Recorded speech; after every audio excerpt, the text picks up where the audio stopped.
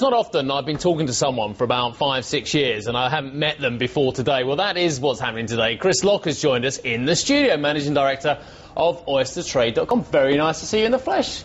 Good morning, Good, good. And uh, you're over for a society or technical analyst dinner, aren't you? I'm over Is that like getting cats in a room? The GAFTA dinner this evening.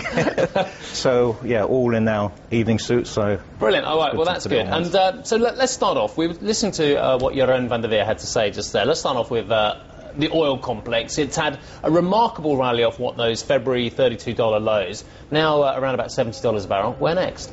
Okay, the, for me, the crude oil um, made an important low at the beginning of March, and this trend should take us up um, uh, somewhere towards the end of the year.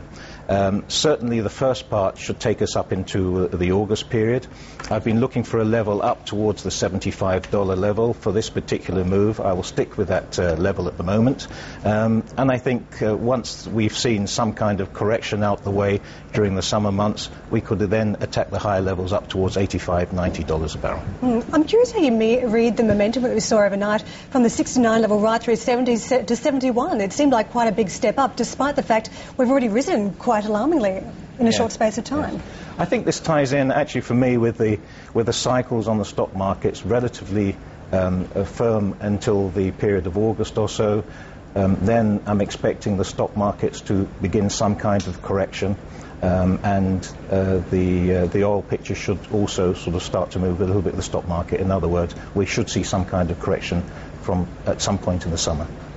You were talking with uh, Jane about her scepticism that the uh, euro can maintain its recent gains against the dollar. But um, I want to see another one of these key pairs now, and the dollar yen pair, and it's one you want to focus on as well.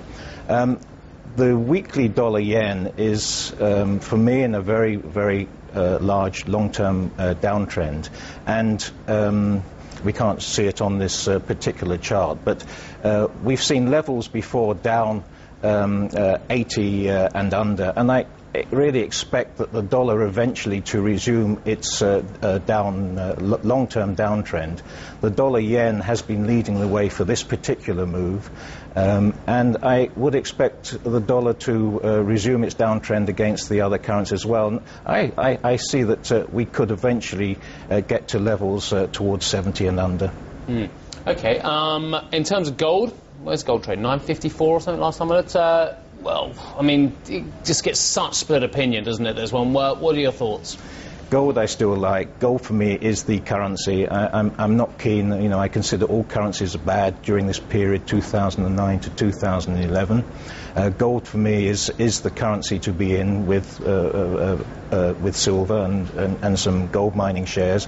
But gold for me is, uh, is, is on its way now up to test the 1040, 1060 level. Once we've broken 1060, it will move very quickly towards 1200, 1250, 1300. Mm, indeed, I've heard a few of those forecasts before, uh, 1200 certainly being a number. But gold traditionally is a safe haven play. The sort of moves we've seen in gold doesn't suggest it's a safe haven anymore. So if you are looking for that sort of investment, would you still be taking gold in your portfolio?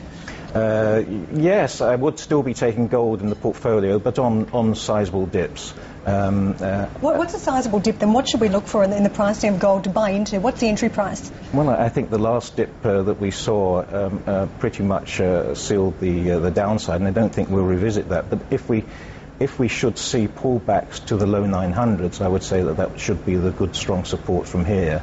Um, and only if you start breaking uh, um, 860 would that sort of uh, suggest that uh, we have more work to do to the, to the downside. But for the time being, good support. Uh, these markets um, really struggling to get up from here. The equity markets as well. Um, we've just run into buffers on all kinds of indices. Uh, uh, just put it into context with the S&P for us, would you? Yeah, the S&P, I mean, overall, I see this as a, a relatively stable period, moving sideways from the period of October, November, uh, possibly into August. It, it, it may uh, peak out uh, around mid-July or so.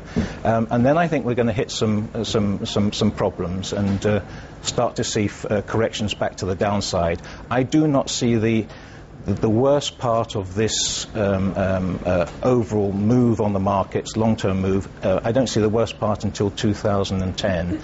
May to August 2010 is the deepest point. Right, okay, so we'll be dipping right back down. Uh, very nice to see you today.